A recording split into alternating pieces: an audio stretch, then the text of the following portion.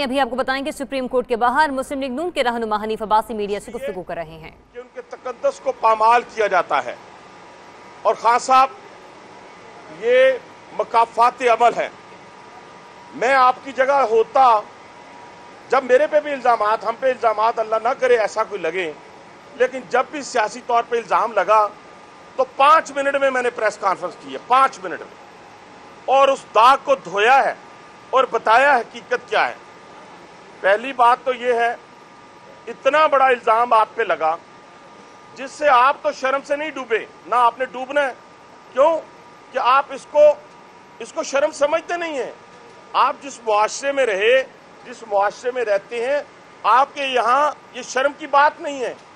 तो आप कहते थे, मुझसे मामूली गलती हो जाए तो मैं कौन से माफ़ी मांग कर चला जाऊँगा? तो आप इस मामूली से मामूली गलती कहते हैं। मैंने नहीं इल्ज़ाम लगाए।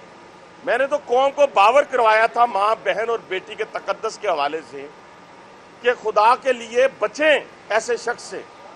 आज आपकी एम एन ए ने रात को कहा और फिर जिस तरह आपके स्पोक्स मैन ने खातन की इज़्ज़त को पामाल किया, जिसका नाम फवाद है, जिसको रखा इस काम के लिए गया है, कि उसको हड्डी डालता है, जो भी तो वो फाऊ फाऊ फाऊ शुरू कर देता है।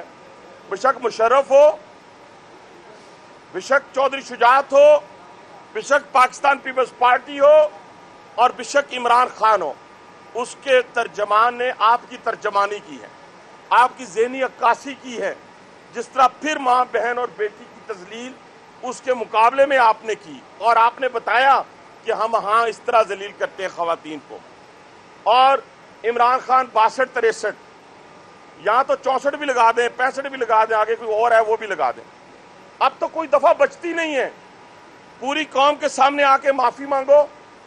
मैं पहले भी खुदा की कसम, डेढ़ साल पहले भी कसम उठा के कहा था, आज फिर कसम उठा के कहता हूँ कि तुम हमारे लीडर नहीं हो सकते।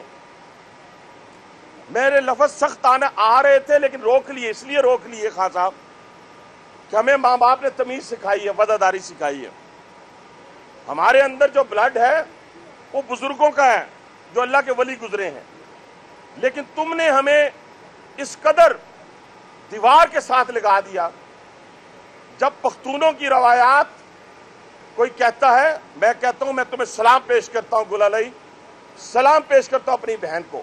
मैं आपको बहन कह रहा हूँ, हम आपकी इज़्ज़त के रखवाले हैं, हम आपके साथ खड़े होंगे, और आपने गैरत का सबूत दिया, इसलिए नहीं कि आप इमरान खान के खिलाफ बोली है। इसलिए कि आपने शैतान, शैतानियत को नंगा किया है। आपने आने वाली नस्ल को, कौम को, आपने बुज़ुर्गों को बता दिया है कि हमने अपने तकदस को कैसे कायम रखना है। तो इमरान खान और जो लोग कहते थे कि ये डिस्कालिफिकेशन नहीं बनती और ये फला नहीं बनता, आज तो खुद बुलाकर कहना चाहिए। आज खुद बुलाकर कहना चाहिए। इन इल्ज़ाम की अगर तहकीकत ना हुई तो हम समझेंगे इस मुल्क से इंसाफ का, कानून का जनादा निकल गया और यह ज़रूरी है, इसलिए ज़रूरी है